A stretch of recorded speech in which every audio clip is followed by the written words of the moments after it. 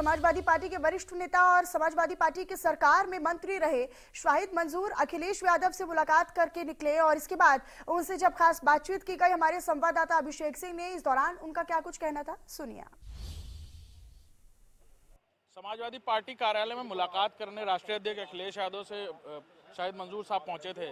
जिस तरह से घमासान चल रहा है रुचि वीरा के समर्थक पहुँच गए, कलेक्ट्रेट बताया जा रहा है, इधर से एस टी साहब को चुनाव लड़ाने की बात हो रही है। ये अंदरूनी खींचतान नुकसान नहीं होगा इससे लोकसभा चुनाव में? जिस पार्टी मज़बूत होती है, जनाधार होता है, उसमें टिकट मांगने वालों की तादाद भी ज़्यादा होती है। नहीं तो आपको लगता है कि टिकट मांगना और पार्टी भी तो कोई बात तय करती है? तो क्या पार्टी लाइन से अलग हटके अलायदा हटके भी कोई टिकटार से अलग होते हैं वोटर अलग होते हैं। समर्थक अलग है वोटर अलग है पार्टी अलग है टिकटार से अलग है।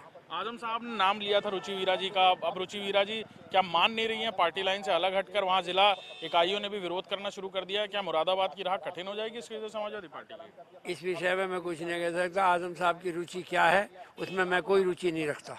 अखिलेश जी क्या कह रहे हैं? आप लोग मुलाकात मेरी मेरी उनसे बारे में बात नहीं हुई मेरठ के विषय में बात हुई थी मैंने कहा जिसको आप लड़ाओगे हम सब उन्हीं को लड़ाएँगे। बिल्कुल। हमारे साथ शाहिद मंजूर थे जो बता रहे थे कि आज़म खान की रुचि में मैं रुचि नहीं रखता इस बात से। आप इस बात का मतलब बिल्कुल समझ सकते हैं आप, कि उनके कहने का मतलब बिल्कुल साफ़ था कि पार्टी में अंदरूनी तौर पर जो घमासान मचा है, उसकी वजह टिकटार्थी हैं। लोग पार्टी लाइन से अलग हटकर भी टिकट मांगने के लिए नॉमिनेशन फॉर्म खरीदने तक पहुँच रहे हैं। देखना होगा, समाजवादी पार्टी में मचे मुरादाबाद और रामपुर की सीट को लेकर इस घमासान का अंत आखिर कितनी देर में होता है।